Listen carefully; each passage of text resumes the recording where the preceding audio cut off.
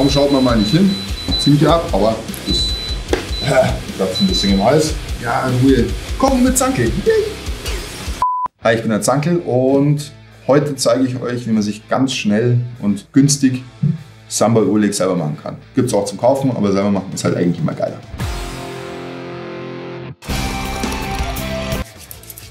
Dafür brauchen wir eigentlich nur vier Zutaten.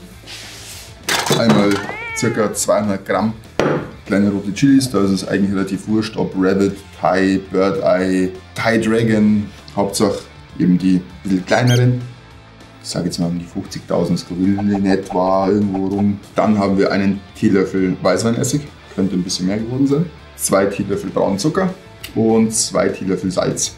Genau, dann nehmen wir auf die Seite. Dann fangen wir mal an. Ich habe die Chilis jetzt frisch gewaschen. Hey, bist du da? Hey, wow. Die schnitzel ich jetzt klein, kontrolliere schon mal, ob die irgendwelche fauligen Flecken haben oder so und schneide sie einfach mal klein. Ich würde jetzt also vier, fünf Stückel draus machen, ungefähr aus einer. Das sind nur zwei rechte. Weil mit Chili im Auge ist uncool. Und wenn man das ohne Handschuhe macht, kann man eigentlich darauf warten, dass das passiert. Und Auge ist noch mit einer der harmloseren Sachen. Noch eine Schale für den Müll. Zum Sambal Uleg per se kommt aus Indonesien, ist von Indonesien dann nach Malaysia rüber geschwappt. Eigentlich auch in allen anderen asiatischen Ländern wird Sambal Oleg benutzt. Jetzt sind wir allerdings schon beim ersten Fehler. Sambal Oleg ist schon zu weit gegriffen. Eigentlich heißt die Chili-Paste an sich Sambal und es gibt da verschiedene Beinamen, die dann eben über die Zubereitung und über die Inhaltsstoffe von dem Sambal Auskunft geben. Bei Sambal Oleg oder Öleg oder Uleg, je nachdem wie man es richtig ausspricht, ist es nämlich so, dass das Sambal eben diese Chili-Paste ist und das Öleg, beziehungsweise ursprünglich eben das Uleg, ist das indonesische Wort für Stößel, also so, dass das eben im Mörser klein gemacht ist. So viel zur Zubereitungsart. Kann natürlich auch ein Pürierstab oder in irgendeinem anderen Häcksler machen. Genau, dann gibt es zum Beispiel noch Sambal Asli, das ist mit Knoblauch. Dann haben wir Sambal Bawang zum Beispiel, das ist mit frischen Zwiebeln noch dazu.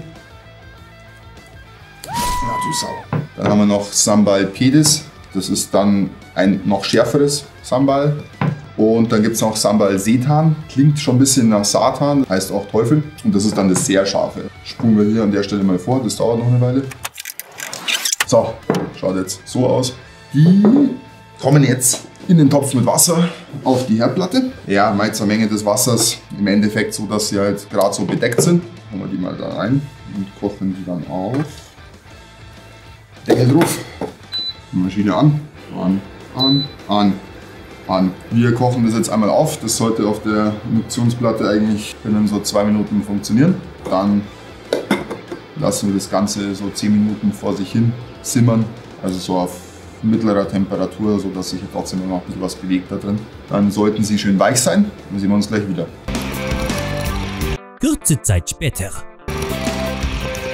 Wir kochen jetzt und jetzt gehen wir ein bisschen runter. Kaum schaut man mal nicht hin, geht die Schose über. Die 600 geht noch ziemlich ab, aber das ist ja in Ordnung. Machen wir 400, das passt schon. Einmal putzen. Kratzt ein bisschen im Hals. Ja, Ruhe. Kochen mit Zankel. Ja. Zehn Minuten später. Dann mache ich dem Gerät mal aus. Ich hoffe, ihr wisst zu schätzen, wir haben ein bisschen dekoriert. Ein bisschen weihnachtlich. Dann brauche ich jetzt einen Seier. Hm. Den Dampf nicht unbedingt einatmen, das brennt ein wenig. So, und dann gieße ich jetzt den ganzen Schund hier rein ab. Der gerät weg. Da, soweit geht das ganze Wasser raus. Mörser. Auch ein Glas, wo wir das ganze Zeug dann reinmachen. So, kurze Denkpause. Dann teilen wir das doch auf zweimal auf. Ich habe jetzt extra grobes Salz genommen, weil Salz halt immer beim Mörsern immer den Effekt hat, dass es beim Zerkleinern weiter hilft, weil das schneidet sich dann quasi durch das ganze Zeug durch. Hoffe, dass die jetzt schön weich sind. Und wie immer, also das ist so das absolute Grundrezept. Man kann sich dann mit Knoblauch spielen, man kann schärfere Chilis nehmen, man kann mildere Chilis nehmen. Die haben teilweise getrocknete Garnelen drin, ganz wildes Zeug. Da könnt ihr euch auch durchprobieren, aber ich mache jetzt einfach der Einfachheit halber eben das Grundrezept wieder. Gut, dann.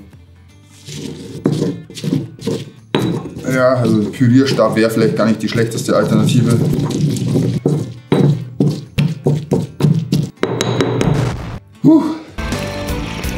Also Fazit ist, äh, mit dem Mixer kriegt man die heute wahrscheinlich be wesentlich besser kleiner. Das hat jetzt hier eher so semi funktioniert.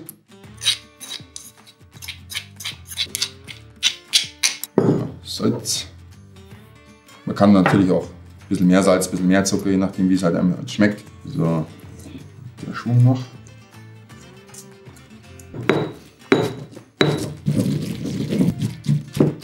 Hey, Schöner wird's nicht. Dann hauen wir jetzt noch den, die zwei Teelöffel Zucker rein und den Teelöffel Essig. Da kann man, wenn einem die Konsistenz noch nicht so taugt, also entweder anfangs schon mal ein bisschen weniger reintun oder im Nachhinein ein bisschen mehr. Ist schon ein ziemlicher Bart. Klingt geil. Man kann Zitronensaft noch reintun, bisschen säuerlicher. Man kann noch irgendwelche Gewürze und Kräuter reintun. Das ist tatsächlich was sehr experimentelles, das Sambal-Zeug. Wer sich jetzt fragt, wozu man das isst, also das kann man wunderbar essen zu generell erstmal allen asiatischen Gerichten. Da wird es hauptsächlich wie so ein Dip verwendet. Man kann es aber auch zum Raclette mitessen, zum Fondue als Soße. Man kann es echt zu allem essen. Es ist eigentlich wie ein scharfes Ketchup, mehr oder weniger. Dann füllen wir das Ganze mal in ein sterilisiertes Glas. Sterilisiert insofern 10 Minuten in heißem Wasser aufgekocht. Am besten ein bisschen Essigessenz rein, weil dann kriegt ihr keine Kalkflecken. Da passiert euch nichts mehr, wenn ihr sauber gearbeitet habt. Also zumindest eine Weile nicht. Haltbar ist es im Kühlschrank, so hauptsächlich zwei Wochen, weil wir jetzt doch mit frischen Chilis gearbeitet haben. Kann man wahrscheinlich dadurch verlängern, wenn man das Ganze jetzt einfüllt und dann nochmal so eine Dreiviertelstunde im Wasserbad nochmal durchsterilisiert. Man kann auch hinten raus oben noch ein bisschen Öl drauf tun, dass es eben luftdicht ist im Glas, falls das Glas nicht ganz äh, dicht zugeht. Ich koche es eigentlich hinten raus eben nochmal einfach ab. Dann habe ich meinen Frieden und schaue, dass ich es relativ zeitnah gegessen kriege dann kann auch nichts passieren. Schauen, dass wir möglichst wenig Luftblasen in der ganzen Geschichte drin haben. Also wenn es nochmal abkocht, mache ich es meistens nicht voller als unter den Verschluss. Gescheit zudrehen und dann eben nochmal ins kochende Wasser stellen für eine, ja, ich mache es eine Dreiviertelstunde, sicher sicher. Dann sind wir fertig mit unserem eigenen Sambal Ölig. Und als Vergleich, schaut gar nicht schlecht aus. Ah ja, und nochmal es sind nicht die Kerne scharf, es ist die Plazenta scharf. Das ist das, wo die Kerne dranhängen. Darum werden Kerne manchmal als scharf empfunden, weil dann eben das von der Plazenta hergestellte Capsaicin an den Kernen hängt. Aber die Kerne sind nicht scharf, die sind geschmacksneutral. Fazit ist einfach, schmeckt geil, ist scharf, ah, schön sauer, kommt gut. Wie immer, wenn euch das Video gefallen hat, freue ich mich über Daumen. Wenn ihr Fragen habt, gerne in die Kommentare damit. Weiter fleißig abonnieren, bald haben wir die 1000 geschafft. Euch allen noch ein schönes Weihnachten schöne Feiertage und wir sehen uns beim nächsten Video. Ciao!